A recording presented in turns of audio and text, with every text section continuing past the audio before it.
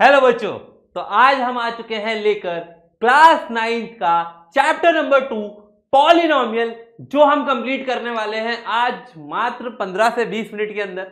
और इसके अंदर कुछ ऐसे क्वेश्चंस भी कराऊँगा जो कि आपके एग्ज़ाम में एज इट इज़ भी पूछे जा सकते हैं। विद एग्ज़ाम्पल सारी चीज़ समझेंगे। चलिए स्टार्ट करते हैं विदाउट वेस्टिंग एनी टाइम चलते सबसे पहले बात करते हैं। सर पॉलिनोमियल्स क्या होता है? तो पॉली का मतलब होता है मैनी और नॉमियल्स का मतलब होता है टर्म तो जब ये दोनों चीज़ें मिलके बनता है, तब बनता है पॉलिनोमियल मतलब बहुत सारी टर्म्स इकट्ठी कर लेते हैं तो पॉलिनोमियल्स बनता है। आप बोल सकते हो polynomials are algebraic expression made up of one और more terms of particular types clear है? चलिए सर ये तो होगी लैंग्वेज पॉलिनोमियल के बाद क्या क्या हो सकता है? पॉलिनोमियल के साथ वेरिएबल हो सकता है है ना? जो एक्स होता है, वो वेरिएबल होता है कांस्टेंट हो सकता है। कांस्टेंट के बाद एक्सपोनेंट्स होते हैं, जो पावर देखते हो आप, और उसके बाद कोएफिशिएंट होते हैं। तो ये सारी चीज़ें मैं आपको जो स्टैंडर्ड फॉर्म है, उससे समझाने की कोशिश करता हूँ। जैसे कि आपके पास स्टैंडर्ड फॉर्म है ए ज़ीरो एक्स की power N plus A one X की पावर एन माइनस वन ऐसे चलता जाएगा और लास्ट में A N minus one X की पावर वन और ए एन आएगा। तो ये क्या है? ये तो है आपका कांस्टेंट कौन है सर ये? कांस्टेंट इसके पास कोई भी एक्स का वेरिएबल नहीं है। और ये होता है आपका कोएफिशिएंट ये A one A zero A two ये क्या है? कोएफिशिएंट और जो सबसे बड़ी पावर है, जो कि क्या है? एन जिसको आप कहते हो डिग्री क्या बोलते हो आप इसे? डिग्री तो ये जो डिग्री होगी, इसके साथ जो कोएफिशिएंट होगा, जो भी वैल्यू होगी, मान लीजिए वन है टू है रूट टू है रूट थ्री है, वो होगी लीडिंग कोएफिशिएंट तो आप बोल सकते हो, सर, ये A zero A one A two A three A N ये सब क्या है? रियल नंबर होंगे। रियल नंबर में क्या क्या होता है? रैशनल भी हो सकता है इरेशनल भी हो सकता है। ठीक है? फिर ए ज़ीरो कभी भी ज़ीरो नहीं होगा। फिर एन जो है होल नंबर होल नंबर का मतलब सर नेचुरल नंबर क्यों नहीं? भाई ज़ीरो भी तो होता है। ज़ीरो वन टू थ्री ये सारे नंबर क्या होते हैं? होल नंबर और ये पावर जो है होल नंबर में होगी। ठीक है? अब अगर मैंने आपसे कहा कि सर पॉलिनोमियल चेक करो, क्या करो सर? चेक करके बताओ कि पॉलिनोमियल है क्या नहीं है। तो कैसे बताओगे? आपको ये सारी कंडीशन वेरीफाई करनी पड़ेगी। ठीक है? चलिए देखते हैं। मैं आपको एक दो एग्ज़ाम्पल देता हूँ, आप लोग मुझे आंसर देते रहना। आपको कहा sir X square plus three X minus four आपने कहा, सर एक्स की पावर टू एक्स की पावर वन एक्स की पावर आप बोलोगे, सर, ये कॉन्स्टेंट है तो एक्स की पावर क्या होगी? एक्स की पावर ज़ीरो होती है इसका मतलब है ना? ये वन हो जाता है। तो आपको दिख रहा है यहाँ पे होल नंबर है सारे, जितने भी पावर थे। डिग्री क्या है? डिग्री है सर टू तो आपको एक बात समझ में है कि, सर, ये एक पॉलिनोमियल है। ठीक है? चलो, मैंने कहा, सर रूट टू एक्स की power three minus four root two X की पावर वन प्लस नाइन तो सर ये क्या है? अगर मैं वन ना लगाऊँ, कोई दिक्कत नहीं तो आप बोलोगे, सर, ये रूट है। तो फिर, अरे रूट है तो यार, ये तो कोएफिशिएंट है। है ना? और कोएफिशिएंट क्या होता है? रियल नंबर होता है। तो ये रियल नंबर हो सकता है। पर ये देखो, ये थ्री है होल नंबर यहाँ वन है होल नंबर यहाँ कुछ नहीं है। तो ये भी क्या है? पॉलिनोमियल अच्छा मैं अगर आपको एक और एग्जांपल देता हूँ। Three X square minus root two X plus one upon X. अब क्या कहते हो आप? अब आप सोचोगे, सर, ये क्या हुआ? वन अपॉन एक्स, अगर मैं इसको वन अपॉन एक्स को लिखूं तो ये हो जाएगा एक्स की पावर माइनस वन। तो माइनस वन क्या होल नंबर है? आप बोलोगे, नो। तो मतलब ये पॉलिनोमियल नहीं होगा। अगर मैं आपको दे दूँ root X minus three X square तो ये भी एक पॉलिनोमियल नहीं है, क्योंकि यहाँ पर एक्स की पावर क्या है? वन बाय टू, ये भी होल नंबर नहीं है। तो ये चीज़ों का ध्यान रखना है। कई बार ऐसे के सीधे के सीधे क्वेश्चन आपको एग्ज़ाम में पूछने जा सकते हैं। चलिए आगे चलते हैं। टाइप्स ऑफ़ पॉलिनोमियल आपको सारे पॉलिनोमियल के नाम याद होने चाहिए।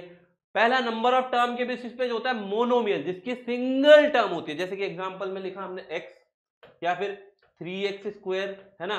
ये क्या है? मोनोमियल एक टर्म वाला। फिर बायनोमियल मतलब दो टर्म वाले।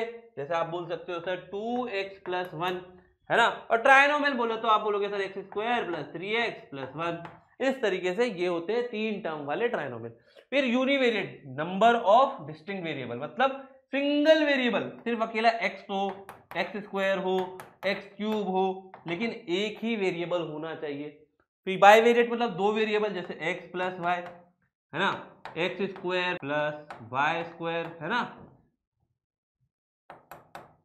तो ये क्या है? बाईवेरिएट और ट्राईवेरिएट क्या होगा, सर? आप बोलोगे, sir X plus Y plus Z इसके तीन वेरिएबल हो जाएँगे, वो हो जाएँगे क्या? ट्राईवेरिएट फिर आता है सबसे important on the basis of degree सबसे इंपॉर्टेंट है, सर, ये, है ना? डिग्री के बेस पे ज़ीरो डिग्री ये होते हैं कांस्टेंट क्या होते हैं, सर, ये? कांस्टेंट जिसको आप बोलोगे one five three by two ये सब क्या है? कांस्टेंट फिर होता है वन डिग्री, जो होते हैं लीनियर पॉलिनोमियल। लीनियर पॉलिनोमियल जैसे कि A X plus B standard form लिख देता हूँ, समझ में आ जाएगा। ए की वैल्यू भी कोई नंबर होगा बी की वैल्यू भी कोई नंबर होगा, जो कि रियल नंबर होंगे। फिर आता है क्वाड्रेटिक जिसकी दो डिग्री है, वो होते हैं क्वाड्रेटिक इसका फॉर्म होता है A X square plus B X plus C equals to कुछ भी हो सकता है ज़ीरो तो नहीं होगा ज़ीरो हो जाता है इक्वेशन हो जाएगा, है ना? फिर आता है आपके पास क्यूबिक जिसकी डिग्री है थ्री और उसका स्टैंडर्ड फॉर्म है A X cube plus B X square plus C X plus D ठीक है? और ये होता है एन जिसको आप कहोगे पॉलिनोमियल और कोई होगी इससे बड़ी पावर तो वो हमेशा पॉलिनोमियल कहलाएँगे। क्लियर है? चलो, अब बात करते हैं डिग्री फाइंड करनी कुछ बच्चों को डिग्री फाइंड करने पता नहीं चलता कि यार कैसे बताएँ। अब आप बोलोगे, सर, सबसे बड़ी पावर क्या है? आप बोलोगे हाईएस्ट पावर हाईएस्ट पावर क्या है? आप बोलोगे हाईएस्ट पावर है सर यहाँ पर थ्री तो यही थ्री नहीं सॉरी फाइव गलत दिख मैंने फाइव तो यही आपकी डिग्री होगी। यहाँ पे हाईएस्ट पावर क्या देखो, पीछे से चलो, यहाँ पे एट है या थ्री है टू है या कुछ नहीं है। तो आप बोलोगे D is equal to eight clear है? समझ में आया? चलो, आगे बात करते हैं zeros of polynomial zeros of polynomial होता क्या है? जैसे मान लीजिए, आपको मैंने ये दिया, इसमें मैं एक्स की ऐसी कोई वैल्यू पुट कर दूँ, जिससे ये पूरा ज़ीरो हो जाए। है ना? एक्स की कोई ऐसी वैल्यू पुट कर दूँ या वाई की ऐसी वैल्यू पुट कर दूँ, ये पूरा ज़ीरो हो जाए। तो वो कहलाएगा जीरोज ऑफ़ पॉलिनोमल जैसे कि फॉर एग्जांपल आपके सामने कोई भी पॉलिनोमल है पी एक्स उसमें मैंने पुट करा अल्फ़ा क्या पुट करा सर मैंने? अल्फ़ा पुट किया। क्या अल्फ़ा पुट किया? एक्स की जगह अल्फ़ा कर दिया। तो मान लो यहाँ पे एक्स की जगह अल्फ़ा कर दिया तो क्या हो जाएगा? पी अल्फ़ा और पी अल्फ़ा की वैल्यू ज़ीरो आ गई तो जो अल्फ़ा है वो ज़ीरो कहलाएगा। जैसे कि फॉर एग्ज़ाम्पल सर ठीक है, समझ लो। जैसे मैंने एक्स माइनस थ्री है ना? अब मैंने कहा एक्स की क्या वैल्यू रखूँ जिससे ज़ीरो आ जाए? आपने कहा था एक्स की वैल्यू थ्री रख दो। तो ज़ीरो आ गया। तो जो अल्फ़ा है, जो ज़ीरो है, वो थ्री हो गया, है ना? तो अल्फ़ा जो है या फिर ज़ीरो जो है, वो थ्री हो जाएगा, ठीक है? ऐसी क्वाड्रेटिक पॉलिनोमियल तो उसके दो ज़ीरो होते हैं, है ना? अल्फ़ा और बीटा है ना? वो आगे समझते हैं। फिर बात करते हैं वैल्यू ऑफ़ पॉलिनोमियल अब वैल्यू ऑफ़ पॉलिनोमियल क्या होता है? सर, वही तो हुआ जो आपने जीरोस की बात करी।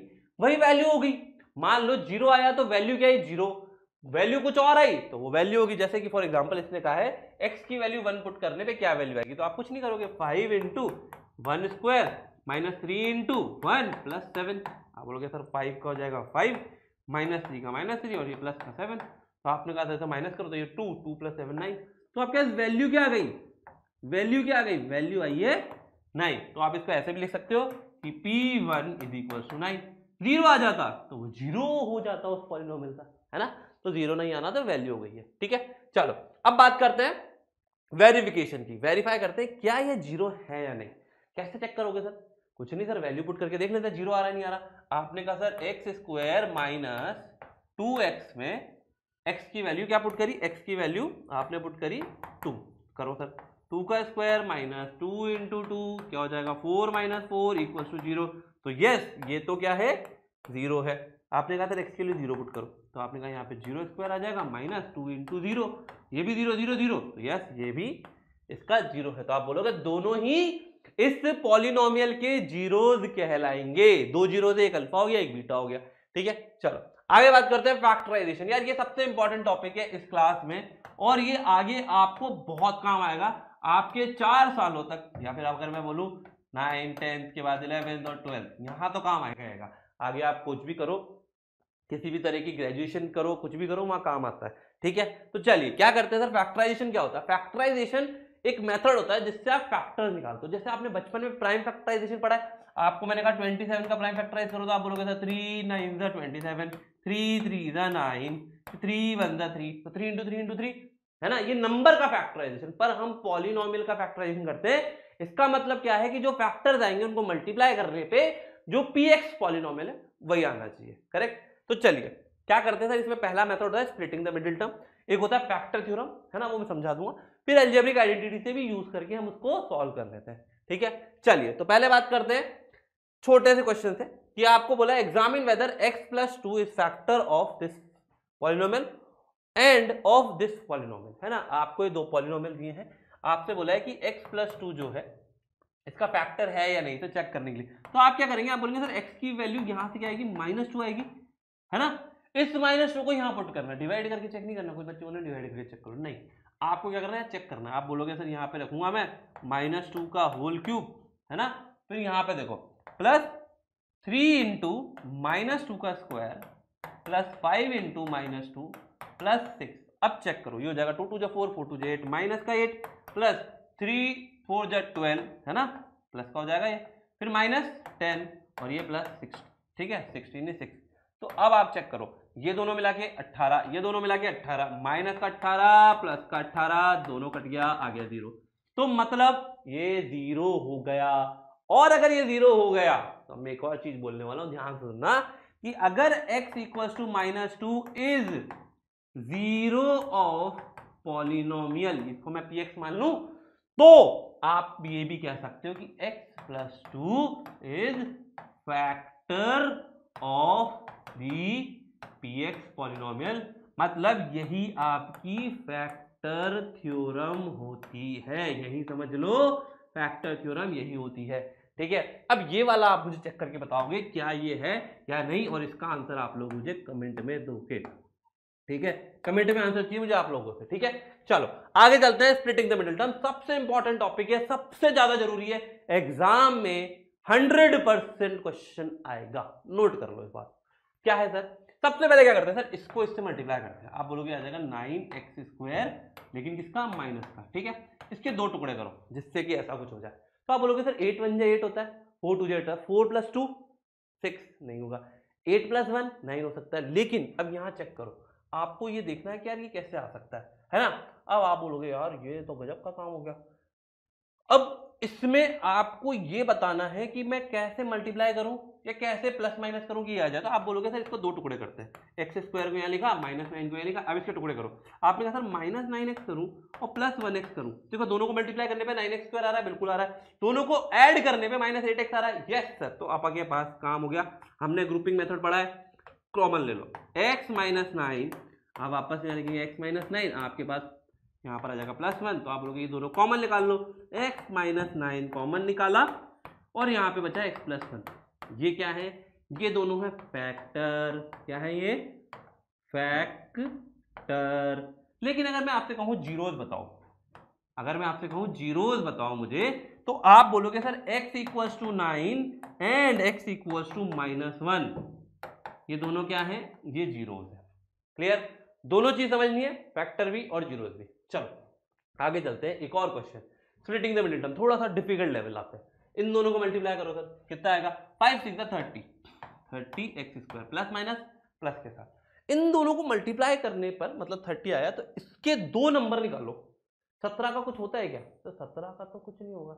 आप बोलोगे सर, पंद्रह इंटू दो तीस होता है? हाँ पंद्रह प्लस दो सत्रह होता है सर, तोड़ दो बीच में. ये सिक्स एक्स स्क्वायर ऐसे लिख दो.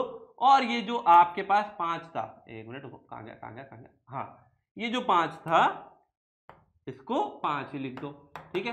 अब इसको थोड़ा आपने कहा, सर, ये हो जाएगा प्लस का टू एक्स, प्लस का पंद्रह एक्स। दोनों को जोड़ो, सत्रह आ रहा है, दोनों को मल्टीप्लाई करो, तीस एक्स आ रहा तो देखो भाई ग्रुपिंग मेथड आप बोलोगे एक्स तो आएगा थे साथ में टू भी आ जाएगा तो यहाँ पे बचेगा थ्री एक्स प्लस वन ठीक है?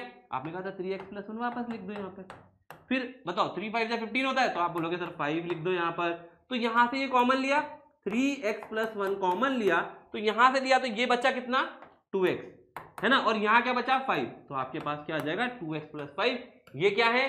सर, ये है फैक्टर। और जीरोस क्या होंगे? जीरोस क्या होंगे? चलो कमेंट में बताओ। अब आप कमेंट में बताओगे कि जीरोस क्या होने वाले हैं। ठीक है? इसके जीरोस कमेंट में ज़रूर बताना। ठीक है? मैं चेक करूँगा कौन कौन आंसर दे रहा है। चलो, आगे चलते हैं। एक नोट है। ये छोटे छोटे नोट्स हैं जो आपको याद रखने कि कोई भी नॉन ज़ीरो कांस्टेंट पॉलिनोमियल होता है जिसका कोई ज़ीरो नहीं होता। मतलब थ्री है, इसका कोई ज़ीरो नहीं है, ठीक है? मतलब एक्स की गोली कुछ भी रखो थ्री तो थ्री रहेगा हमेशा, कभी ज़ीरो नहीं आएगा, ठीक है? फिर लीनियर पॉलिनोमियल के हमेशा एक या एक एक ही रूट होगा, है ना? हमेशा मैक्सिमम एक ही रूट होगा तो एक भी नहीं होगा, एक होगा। तो ये जो रूट्स होते हैं, यही जीरोस कहलाते हैं, ठीक है? दोनों एक ही चीज़ है। चलो, फिर any quadratic polynomial will have maximum two root या तो एक भी नहीं होगा, या एक होगा, या फिर दो होंगे, है ना? और तीसरा है क्यूबिक, जिसके मैक्सिमम तीन रूट होंगे, या दो होंगे, या एक होगा, या फिर एक नहीं होगा। क्लियर है? चलो, आगे बात करते हैं। आइडेंटिटीज सर ये बहुत इंपॉर्टेंट आइडेंटिटीज है। हमारे एग्ज़ाम में इन आइडेंटिटीज से क्वेश्चन हंड्रेड परसेंट बनते हैं। तो देखो, दो टॉपिक तो हंड्रेड परसेंट आएँगे। एक हो गया स्प्लिटिंग द मिडिल टर्म और दूसरा हो गया आइडेंटिटीज ठीक है? तो पहली आइडेंटिटी एक एक्स प्लस वाई का whole square x square plus two x y plus y square सबको याद है? फिर माइनस हो जाएगा तो यहाँ बीच में माइनस आ जाएगा। फिर x square minus y square भाई ये तो आपने नंबर सिस्टम में पढ़ा था। X square minus y square x plus y x minus y फिर x plus a into x plus b तो x square plus a plus b into x plus a b और उसके बाद पांचवी identity है। अगर x plus y plus z का whole square हो जाएगा तो वही same process x square plus y square plus z square two x y two y z two z x simple फिर क्यूब में x cube plus y cube plus three x y into x plus y इसको solve करके भी लिख सकते हैं, जैसे यहाँ बता रहा हूँ मैं। एक्स माइनस वाई का whole cube x cube minus y cube minus three x y into x plus x minus y अब इसको मैंने मल्टीप्लाई कर दिया, इसको इधर मल्टीप्लाई कर दिया। तो ये तो सेम आ जाएगा। ये भी सेम आ जाएगा। तो यहाँ क्या जाएगा? Three x square y minus का, और ये माइनस माइनस प्लस करके हो जाएगा plus three x y square ठीक है? ऐसे अगर मैं बात करूँ, एक और आइडेंटिटी है, बहुत ज़्यादा इंपॉर्टेंट है। X cube plus y cube plus z cube है ना? Is equal sorry plus z cube minus three x y z. इसमें क्या होता है? X plus y plus z होता है। X square plus y square plus z square minus x y minus z y z minus z x होता है। यहाँ पर ब्रैकेट आएगा। अब एक स्पेशल केस होता है। यहाँ पे लिख लो स्पेशल केस क्या होता है सर वो? अगर x plus y plus z zero आ गया तो x cube plus y cube plus z cube equal to three a b c होगा। याद कर लेना ये, इससे काफ़ी क्वेश्चन डायरेक्ट सॉल्व हो जाते हैं। ठीक है? चलो, अब करते हैं एक क्वेश्चन इवेलुएट 105 एंड 106 मल्टीप्लीकेशन है. विदाउट डायरेक्ट मल्टीप्लीकेशन क्या करोगे सर?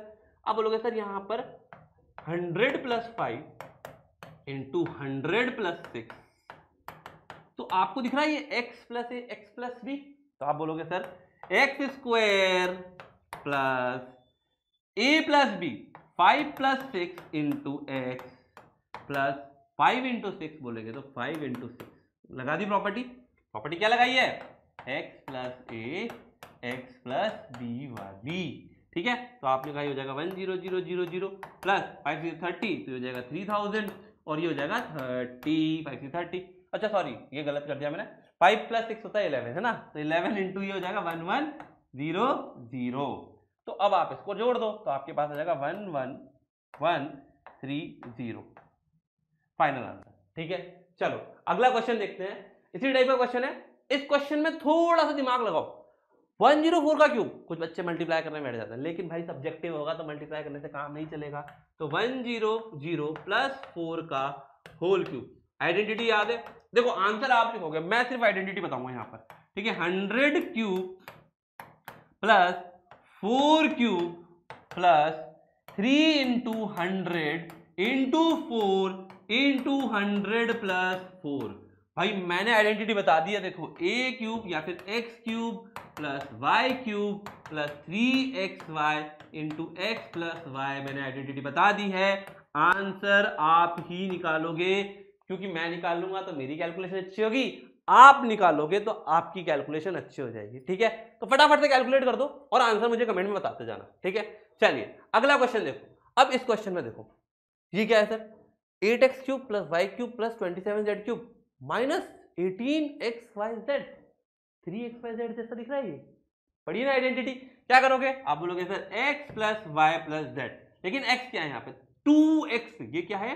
टू एक्स का होल क्यूब ये y का होल क्यूब और ये है थ्री जेड का whole cube minus three into two x into y into three z देखो थ्री टू जो सिक्स सिक्स एटीन आ रहा है कि नहीं आ रहा? है ना? तो लगाओ आइडेंटिटी बोलोगे two x plus y plus three z ठीक है? माइनस साइन आएगा नहीं कहीं पे क्योंकि है ही नहीं। ठीक है? फिर देखो, इसका square four x square plus y square plus nine z minus x y x y बोलो तो टू इंटू वाई तो जाएगा two x y minus y z, three y z, फिर जेड एक्स तो आप बोलोगे two three z, six x z. ये आपका फाइनल आंसर होगा, ये हो गया factorise by using the identities clear है? समझ में आया? तो मेरे ख्याल से सबको क्लियर हो गया होगा कि इस तरह के क्वेश्चन एग्ज़ाम में आते हैं और ये आपके लिए बहुत इंपॉर्टेंट है। ठीक है? तो मेरे ख्याल से चैप्टर बहुत जल्दी खत्म हो चुका है। अब हम अगले चैप्टर का वेट करते हैं। चैनल सब्सक्राइब कर लो बेल आइकन हिट कर लो और बने रहेगा इस तरह के साथ, क्योंकि बहुत कुछ आना बाकी है। तो all the best bye bye and take care